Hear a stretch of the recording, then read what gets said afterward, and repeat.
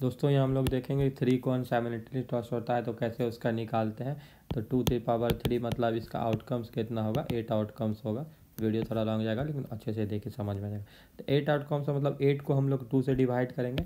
तो पहले फोर फिर टू से डिवाइड करेंगे टू और फिर इसको टू को टू से करेंगे तो वन यानी कि एट बाई टू ये फोर हो गया फोर बाई टू ये टू हो गया टू बाई टू या वन हो गया।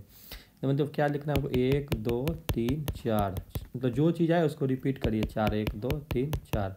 ये दो आया तो एक एक, दो दो। एक एक, दो दो। अगर ये फिर वन आया तो H T H T H T H T इस तरह आ जाएगा। लेकिन अगर हम लोग यहाँ पर पाँच कॉइन ले लेते हैं। सपोज़ एट पाँच कॉइन हो गया। तो मतलब क्या हो गया? टू थ्री फोर फाइव बराबर बत्तीस हो गया। अब हम लोग को यहाँ पर क्या होगा? कि बत्तीस बाई दो, सोलह फिर सोलह बाई दो, आठ आठ बाय दो, चार चार बाय दो दो दो बाई दो, वन। यानी कि सबको लिखना था। हमको सोलह बार क्या लिखना पड़ेगा? एक, दो, तीन, चार, पाँच, छः, सात, आठ, नौ, दस, ग्यारह, बारह, तेरह, चौदह, पंद्रह, सोलह। और फिर सोलह बार टी लिखना होगा। एक, दो, तीन, चार, पाँच, छः, सात, आठ, नौ, दस ग्यारह, बारह, तेरह, चौदह, पंद्रह, सोलह। अब फिर क्या कर रहा है कि हमको ये सोलह हो गया, आठ बार। यानी कि एक, दो, तीन, चार, पाँच, सात, आठ। और फिर आठ बार टेल, एक, दो, तीन, चार, पाँच, छ, सात, आठ। फिर हेड, एक, दो, तीन, चार, पाँच, छ, सात, आठ। फिर हमको आठ बार टेल एक, दो, तीन, चार, पाँच, छः, सात और आठ। ठीक है? मैं छोड़ा। अभी आठ के बाद क्या है? फिर चार का सीरीज़ चलेगा। यानी कि एक, दो, तीन, चार, एक, दो, तीन, चार।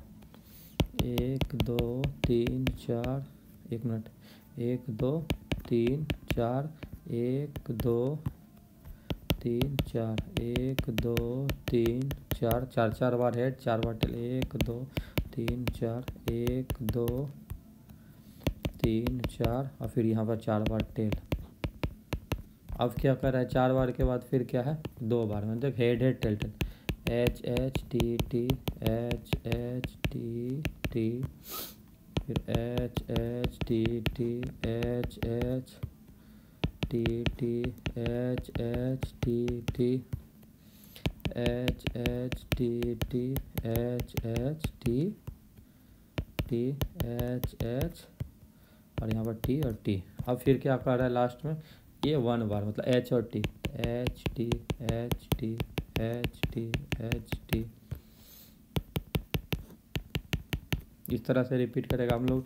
किसी का भी निकाल सकते हैं, कितना भी बड़ा का नंबर का। बस ये मतलब सीखने के लिए तीन से ज़्यादा एग्ज़ाम में नहीं आता है। लेकिन उसको भी आप लोग क्विक वे में लिख सकते हैं। एग्ज़ाम में मतलब रट के ही जाने का कोई ज़रूरत नहीं है। एच और टी और इस तरह से क्या है ये? थर्टी टू आउटकम्स इसका रेडी हो गया।